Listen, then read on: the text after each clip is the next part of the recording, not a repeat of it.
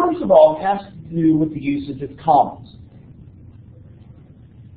It can be an impulse to just throw a comma in there, but commas don't always work.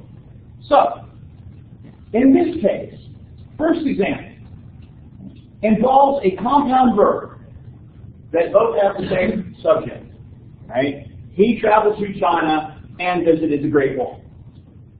Whoever he is, is both traveling to China and visiting the Great Wall. This case, no comma.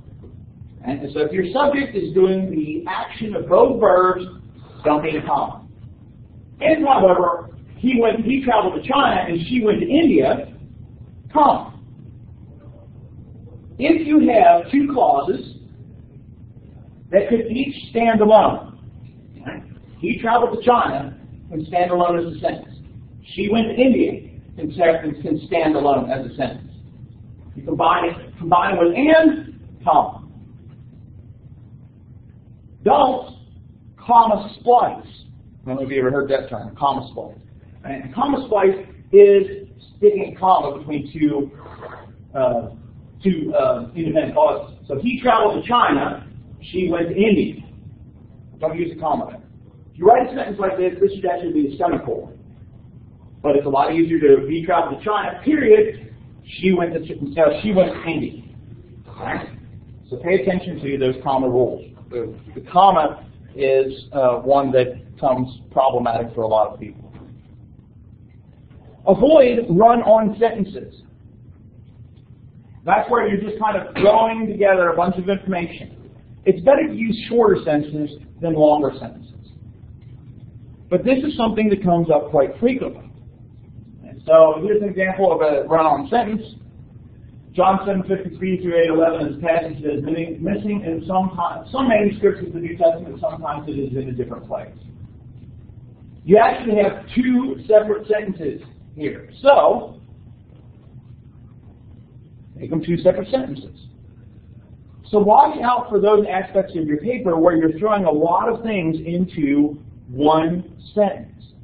Think about it. Well, maybe maybe there should be two sentences. And so on the one hand, you have the problem of throwing a bunch of material in, in one spot. The other danger that sometimes happens is that you don't actually have a full sentence. This passage tells us much about Jesus' character. Right? Sentence, how he cared for people. Not a sentence. Right? So watch out for those, because they show up frequently in papers. Again, you're reading through this, you think, okay, looks good to me. Give it some time, come back. Right? This is in a sentence. Right? It doesn't really have a subject, doesn't really have a verb. It's just kind of a statement, just kind of hanging it out there by itself. It is a fragment of a sentence.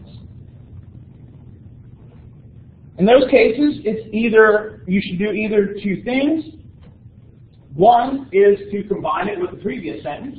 this passage tells us much about Jesus' character and how he cared for people, or make it into two complete sentences. Right? This passage tells us much about Jesus' character, particularly it shows how much he cared for people. So watch out for those things in your paper where you have just a part of a sentence instead of an entire sentence.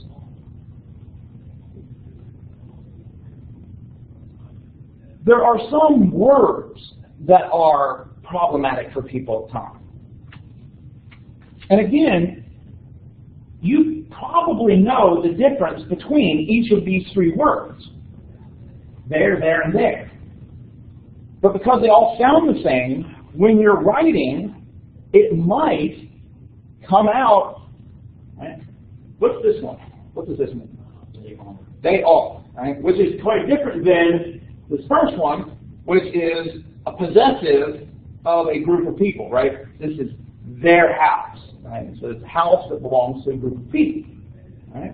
There, of course, is a demonstrative pronoun. That means it's there, right? So you know, well, possessive, demonstrative pronoun, and contraction.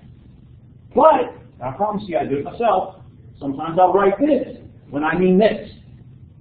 Now, your word processing program, if it's set up for a grammar checker, spell checker, might catch this. Sometimes it might not. So you can't just rely on the machine thinking for you. You got to have to look at it as well. So know the difference between those three. This is one that gets a lot of people. The difference between loose and lose. I frequently see papers where what they mean is this one, but they have written this one.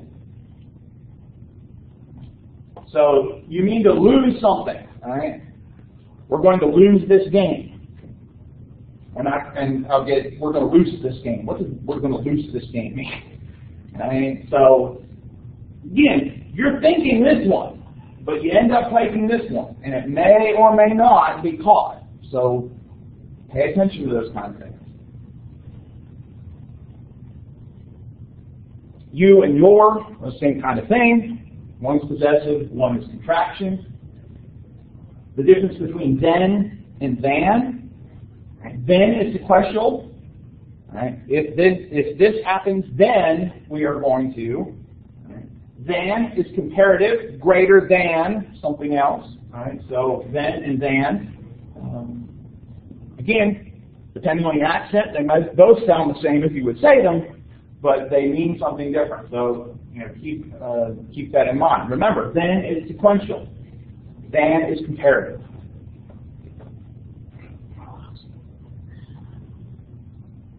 Also problematic for a lot of people is the difference between these two words, both of which are pronounced it. One is the contraction. It is. The other is the possessive. Now this one, again, it may be caught by your spell checker, it may not. ultimately, it's up to you to make sure that if you mean this one, you've written this one. If you mean this one, and this is the problem with this, of course, is that when you make a, make a possessive for a lot of words is apostrophe s. But that's, I mean, in general, though, you should try to avoid contractions if possible. So if you mean to say it is, you should type out it is.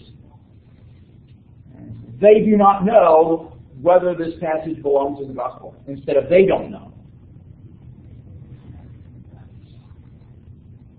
Also pay attention to, and this is another one that shows up quite frequently, is that plurals are not made by an apostrophe s.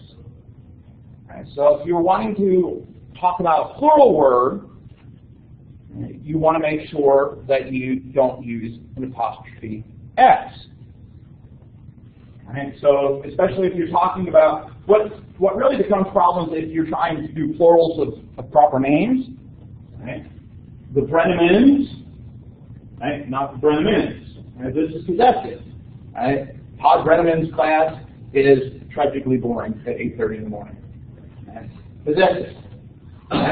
But if you want to say um, the Brennemans, however, are wonderful people, right? this is how you do it.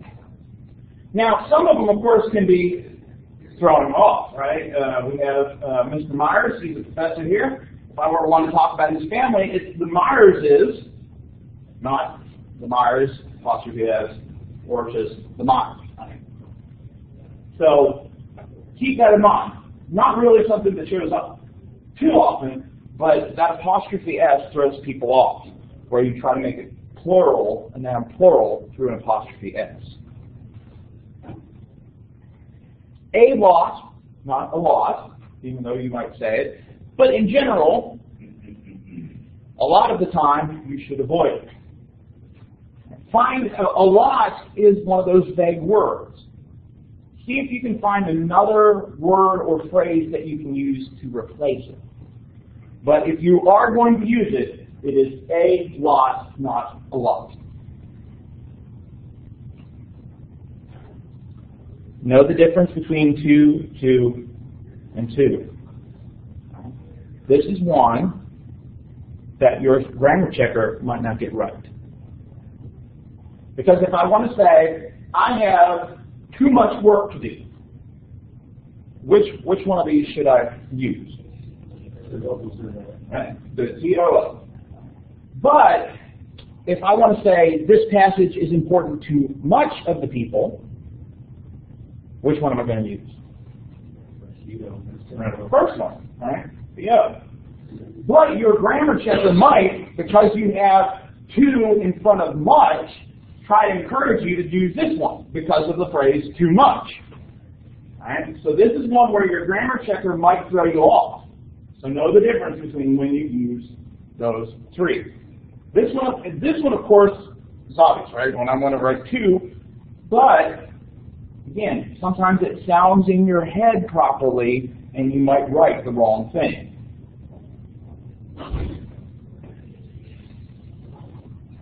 It is would have and could have, not would have or could have. Mm. Again, depending on your accent and how you say it, you might say, I would have taken this course, but I decided to take something else. Right? Well, when you're writing it is would have, right? not would of. Again, it's the difference between what sounds in your head as you're typing and what is proper English. Now the difference between affect and effect. Affect is a verb. This paper is going to affect your grade. Effect is now the effect of this paper is 200 points on your grade. And so verb, now. I know the differences, the plural, women and woman. Avoid shifting tenses. This is another one that comes up quite frequently. There might be some cases where you would shift the verb tense in your paper between present and past. But in general, you should keep all of your verbs in the past tense or all of your verbs in the present tense. Now, if you're writing a history paper, all of it should be in the past. But there might be a reason why you would want to put things in the present. But try to avoid switching back and forth. And so in this case, I would say ignore the Gospel of John's approach to this. Because John will go from present to past very indiscriminately. Right? Uh, if you actually read that, let's say, in a older translation that tries to keep the verb tense as the verb tense in the Greek, you'll be reading along in the past, and then all of a sudden John will switch to the present. John was inspired, he can do it, you are not. So keep it all in the past, or keep it all in the present. Um, try to avoid that back and forth. So like if you had a, uh, like that, somebody who read one of your articles or one of your sources who had like passed away, you did like, he believes that this is this, and then like, the next person was still alive, so he believes. In that case, since everything has been written in the past, you could just all keep it in the past, even though the author may or may not be still alive. Now, certainly one thing to do, that kind of reminds me of something. If your source is in the present tense, and you are quoting directly from your source, quote exactly as it is in the source. Right? If you decided I'm going to write everything in the past tense, if you are quoting from your source and they use the present tense, then use the present tense if you're quoting. Right? So that doesn't apply to I'm quoting this from somebody else. Other questions? A couple last things, things we've uh, talked about already. Whether you're using it in, the, in your paper or in a footnote, titles of books and journals should be italics or underlined. Titles of journal articles, however, should be in quotation marks. Books of the Bible, however, should not be italicized. Right? So if you're writing, you know, if you're writing Matthew 28, 19 through 20, you don't italicize Matthew. Keep Matthew in the standard font.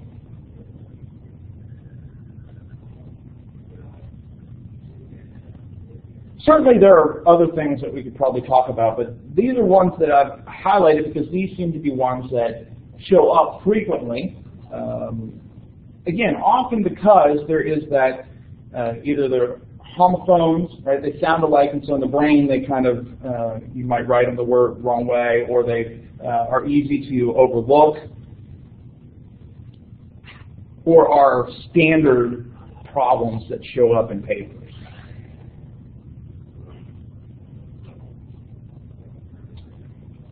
Any questions? Good. If we have an, um, a source and it quotes another source, we want to use that quote that they quoted, do you,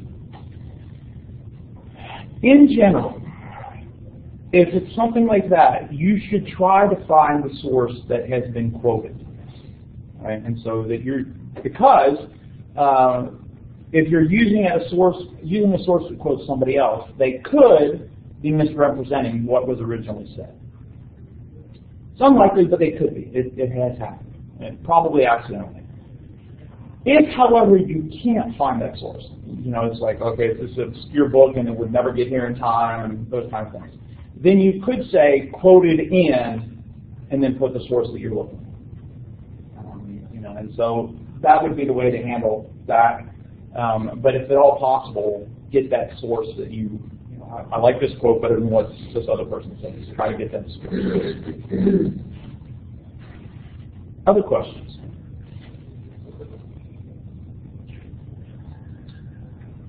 All right. Uh, if not, we'll end there for today, a little bit early. Um, and on Wednesday, we'll pick up with pitfalls. Don't forget before you leave to have signed up for one of the presentation slots for next Monday or next Wednesday.